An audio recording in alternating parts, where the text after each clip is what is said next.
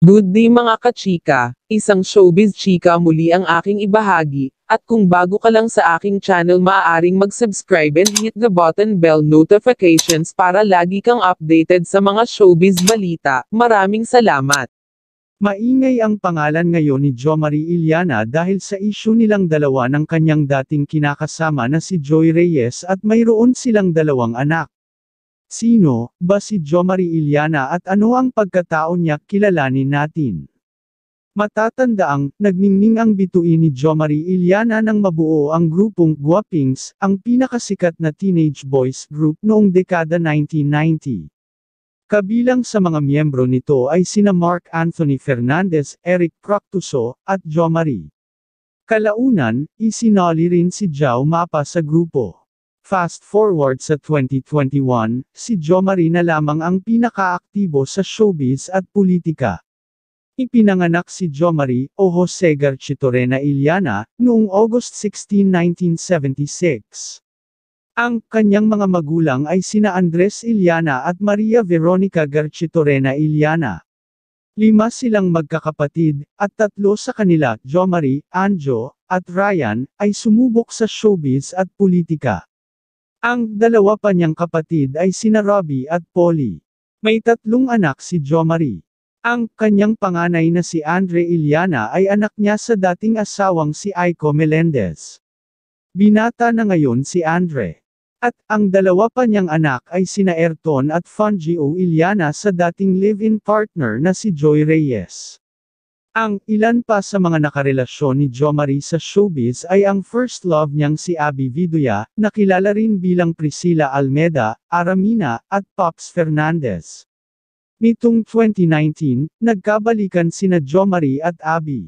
Nagtapos ng elementarya si Jo Marie sa Ateneo Grade School noong 1988. Sa Costca High School, Quezon City naman siya nagtapos ng high school noong 1992. Hindi na nakapagkolehiyo si Jo Marie dahil sa dami ng showbiz commitments niya noon. Matapos ang kanyang stint sa Guapings, naging drama actor at leading man sa pelikula si Jo Marie. Pero nitong nakaraang 2016, nag-aral siya ng Public Administration sa UP National College of Public Administration and Governance UPNCPAG, kasunod ng pagpasok niya sa politika. Nasa ikalawang termino na bilang konsehal si Jo Marie sa 1st District ng Paranaque. Taong 1989 nag-audition si Jo Marie para sa clothing brand na Bench. Pinalad naman siyang makasama sa campaign ng Bench Brats, and eventually, naging endorser ng underwear line ng main brand na pag-aari ni Ben Chan. Taong 1990 na discover si Jo Marie ng talent manager discoverer na si Douglas Quijano. At isinalang siya sa audition para sa role na Batang Gabriel, na karakter ni Richard Gomez sa pelikulang Hihintayin Kita sa Langit kasama si Don Zulueta. Ipinalabas ang nasabing pelikula noong 1991 ng Reina Films sa direksyon ni Carlito Sigyon Reina. Noong panahong ito, sumikat na ang trio ng guwapings nina Jo Marie, Eric, at Mark Anthony dahil na rin sa kanilang presensya sa iconic sitcom na palibha sa lalaki ng ABS-CBN. Simula nang ilunsad ang kanilang grupo, lalo na nung bigyan sila ng show, ang Guapings Live, ng GMA7, naging household name ang tatlo. Taong 1992, naging bida sila sa kauna-unahan nilang pelikula bilang grupo, ang pelikulang Guapings, The First Adventure, directed by Jose Javier Reyes. Naging leading man naman siya ni Joyce Jimenez sa Warat 1999, ni Mylene Dizon sa Gatas sa Dibdib ng Kaaway 2001, at ni Aramina sa Sagad sa Init 1998, Banatan, 1999, at minsan pa 2004. Napanalunan ni Jo Marie ang unang award bilang Best Actor sa pelikulang kahit kailan noong 1996 sa Metro Manila Film Festival, MMFF. Dalawa naman sa mga pelikula niya, ang Delirio, 1997, at Sa Pusod ng Dagat 1998, ay ipinalabas sa Toronto International Film Festival. Kasabay ng kanyang kasikatan sa showbiz, pinagtuunan din ng pansin ni Jo Marie ang kanyang hilig sa car racing bandang 1996. Pero taong 2002 ay nagpahinga siya sa pangangarera.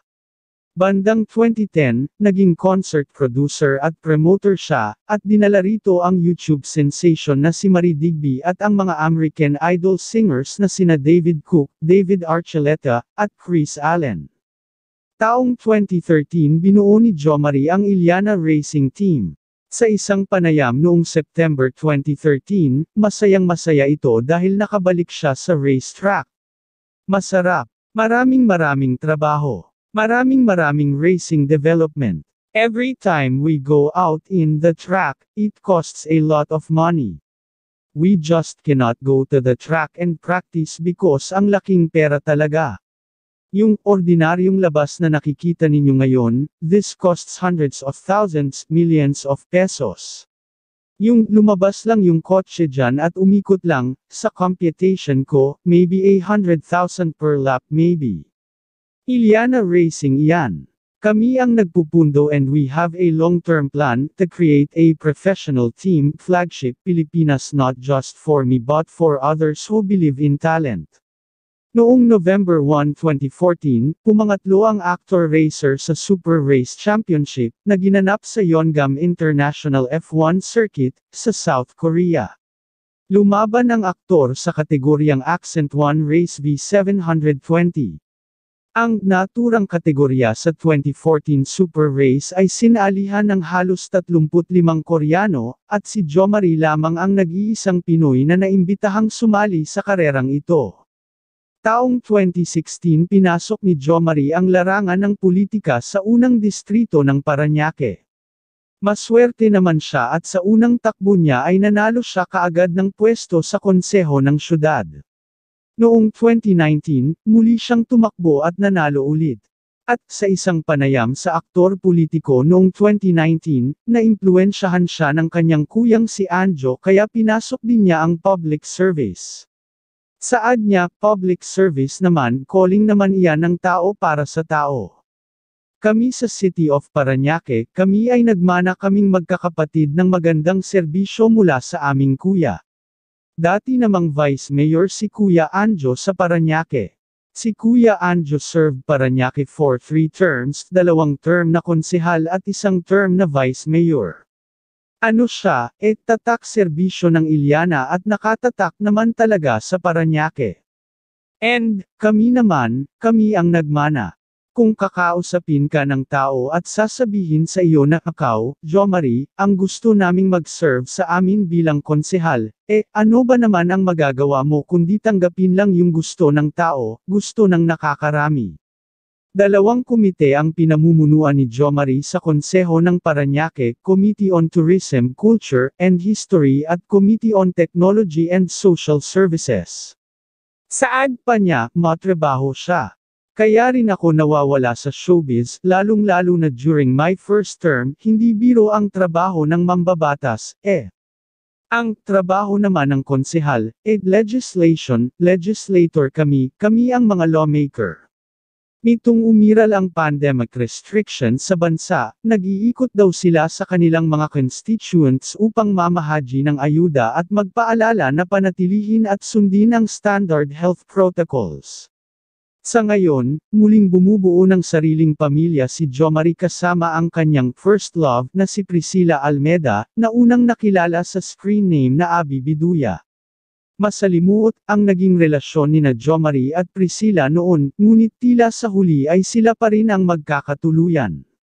Sila marahil ang buhay na ehemplo sa kasabihang first love never dies. Kwento pa ni Jo Marie Iliana noong December 2019, madalas naming mapag-uusapan iyan, nire-recall nga naming dalawa iyan. Siguro, nabigyan kami ng pagkakataon na mamit namin ang isa't isa na kung saan meron kaming sitwasyon na, in a way, magkahawig. And, kami naman, we always had good vibes sa isa't isa and good memories. Teenager pa lamang sila, noong kalagitnaan ng dekada 1990, nagkaroon ng relasyon sina Jo Marie at si Priscilla, na tinagurian noon bilang babaeng guwaping. Ngunit nagbago siya ng image mula sa pagiging teen star ay naging sexy star sa titilatang films. Kalaunan, nilisan ni Priscilla ang Pilipinas at namuhay sa Canada kasama ang kanyang pamilya. At nagkaroon siya ng tatlong anak sa dalawang nakarelasyong non-showbiz guys. Paano muling nagkaroon ng komunikasyon sina Jo Marie at Priscilla matapos ang dalawang dekada? Kwento ni Jo Marie, I think it was 2016 or 2015 na nag-uusap kami tungkol sa politika, buhay sa Pilipinas. Iyan yung time na nagpi-prepare naman ako for public office. And since then, nag-reconnect kami. Si Priscilla na ba ang gustong makasama ni Jo Marie hanggang sa pagtanda? Kumahalaklak na sagot ni Jo Marie habang katabi si Priscilla, oo, may edad na kami, eh. Oo naman. Pagsang-ayon naman ni Priscilla, oo, totoo. Parehong 44 years old sina Jo Marie at Priscilla sa kasalukuyan. Sa hiwalay na panayam kay Priscilla, sinabi nitong masaya siya sa balikan nila ng kanyang first love. Saad ng nagbabalik na aktres, I'm happy with him. First love ko si Jom and we are given a chance to finally be together. We just mutually decided that it's time for us to be happy. Dagdag pa niya, Jom has always had a special place in my heart ever since we were 15. That has never gone away. Isa ka bang showbiz fan na laging naghahanap ng bagong chika, maari lamang mag-subscribe dahil ang channel na ito ay nag-upload ng dalawa hanggang tatlong beses sa isang araw, maraming salamat.